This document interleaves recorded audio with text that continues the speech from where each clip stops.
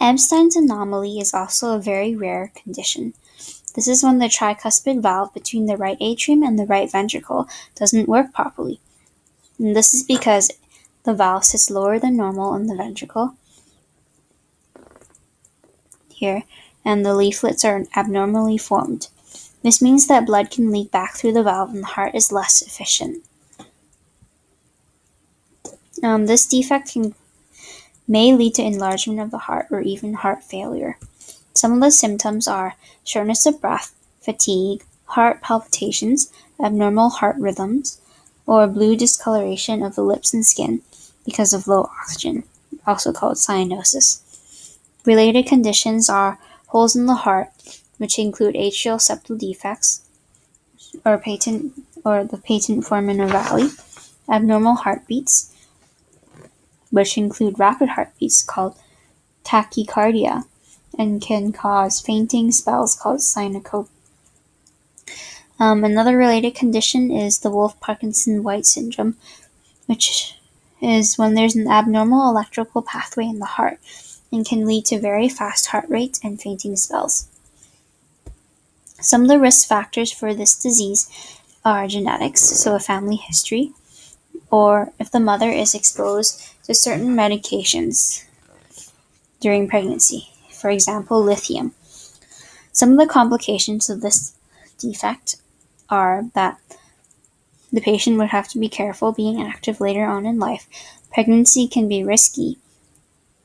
Um, there's a risk for heart failure or heart rhythm problems or even sudden cardiac arrest or stroke.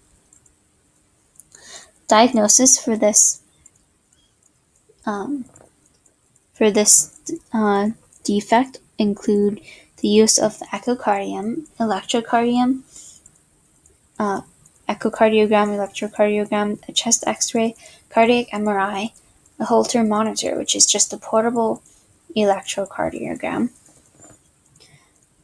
pulse oximetry, an exercise stress test, electrical physiology study, or a cardiac catheterization. The treatment for this defect include monitoring monitoring it to see if it will go it will close or get better on its own. Um, medication to control the heart rate and rhythm and prevent blood clots as well as keeping the ductus arteriosus open. And surgery. Um, different methods of surgery include tricuspid valve repair, which reduces the size of the valve opening, which allows the valves to come together. Or you could separate the leaflets from the heart muscle, rotate it, and reattach it to make a leaflet cone.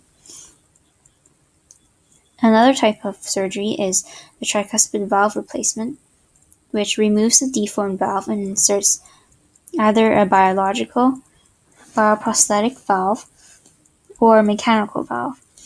But the patient would need to take blood thinning meds for life if using the mechanical one to prevent blood clots. Another type of surgery is closing the atrial septal defect by patching the hole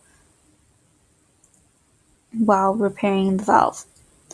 Um, the maze procedure is when the surgeon makes small incisions in the atria to create a pattern of a pattern or maze of scar tissue. This interferes with the stra- uh, stray electrical impulses, and because it doesn't conduct electrical impulses, it can control the heartbeat again. Um, this is done using extreme cold, called cryotherapy, and radio fre- or radio frequency energy. Another type of surgery is radio frequency catheter ablation, which uses catheters to get electrodes to the heart. And then radio frequency energy is used to damage or ablate small spots of the heart tissue to create um, electrical block along the pathway. And lastly, the patient could get a heart transplant if the defect is too complex.